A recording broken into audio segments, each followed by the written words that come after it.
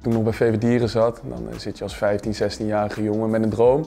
En uiteindelijk om na, na, na zoveel jaar dan die droom werkelijkheid te maken is uh, ongelooflijk. Voor mij uh, was de stap van VV Dieren naar MASV al best, best groot. Het was natuurlijk wel even aanpassen, maar daar heb ik onder leiding van Dennis eigenlijk wel een beetje gaan wennen aan het BVO-niveau qua trainingen. Want Dennis is natuurlijk vroeger ook altijd trainer geweest bij de BVO's. Nou, dan train je eigenlijk daar ook al heel hard. Maar ja, natuurlijk de intensiteit hier is natuurlijk anders, omdat je vijf dagen in de week traint en je komt eigenlijk van twee dagen af.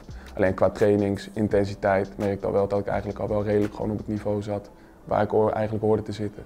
Nou, het afgelopen half jaar je komt hij natuurlijk binnen en op een gegeven moment als je vijf dagen in de week gaat trainen merk je eigenlijk dat je voetballend gewoon eh, sterker wordt. Mentaal word je sterker en eigenlijk veel fitter word je. En dat is eigenlijk wel wat ik gemerkt heb het afgelopen half jaar dat ik nu hier doormaak. Nou, mijn uh, vader die is uh, opgegroeid in Arnhem, in het, uh, in het Broek. En sindsdien is eigenlijk Vitesse ja, met de paplepel erin gegoten. Iedereen, ja, opa, oma, iedereen was eigenlijk altijd voor Vitesse. En dan ga je natuurlijk als klein kind ga je altijd naar het Gelredome en dan ben je supporter.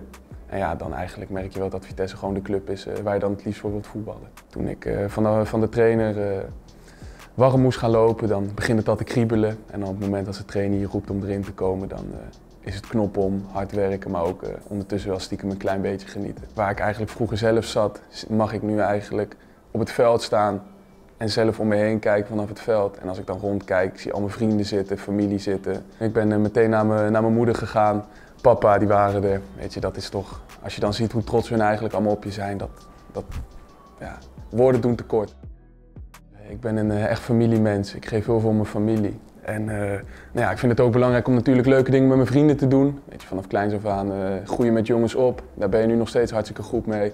En voor de rest ja, vind ik het hartstikke, hartstikke leuk om, om me te verdiepen in dingen. Bijvoorbeeld in de geschiedenis, dat soort dingen. Ik ben eigenlijk ook wel stiekem een klein beetje iemand die school heel erg leuk vindt. Ondanks dat ik het nou niet meer doe, heb ik daar altijd wel heel erg veel plezier in gehad. Dat zijn wel de dingen die ik nu misschien een beetje mis. Ik heb veel specifieke trainingen gehad, spitsentraining voor Johnny van de Beukering. En dat heeft me eigenlijk wel als speler gemaakt tot wie ik eigenlijk nu ben. En daar is het eigenlijk wel allemaal begonnen met het vertrouwen van hem en de stap naar MASV. Dat, daar is het eigenlijk echt allemaal begonnen dat ik dacht, ja, nu wordt het wel echt serieus. Ik ben elke vrijdagavond met Johnny gewoon puur gaan afwerken, afwerken, afwerken. En niet als voetbalspeler heeft hij mij ook gemaakt, maar ook gewoon als mens heeft hij mij ook gemaakt. Want het vertrouwen wat ik van hem kreeg, het vertrouwen wat ik van zijn broer kreeg, dat heeft me eigenlijk alleen maar beter in mijn vel laten zitten en gewoon steeds harder blijven gaan werken. Als ik kijk naar 2021, eh, toen, uh, toen was ik uh, als 16-jarige stond ik bij VV Dieren op een veld elke middag te voetballen. Maar ja, weet je, dan heb je natuurlijk wel een droom. Alleen als ik nou realistisch met mezelf was gebleven, had ik niet gedacht dat die droom na twee, drie jaar uit zou komen. Nou, ik ben eigenlijk altijd, wat er bij mij vroeger altijd toen ik 16 was, als je dan eerste elftal voetbal gaat spelen, derde klasse, nou ja, dan is het natuurlijk wel heel erg fysiek. Dus eigenlijk heb ik in dat opzicht mezelf wel goed ontwikkeld. Ik denk eigenlijk dat ik het wel moet hebben van mijn voor de goal komen, het lopen achter de laatste linies en gewoon uh, in de 16 komen met een bal sterk houden. Ik heb uh, volgens mij tot nu toe loop ik, uh, zelfs op de dag van vandaag loop ik nog met een glimlach. Want als ik denk van ja, ik heb mijn debuut mogen maken voor mijn Vitesse, voor de club waar ik vroeger supporter voor was en nog steeds. Dat is onbeschrijfelijk.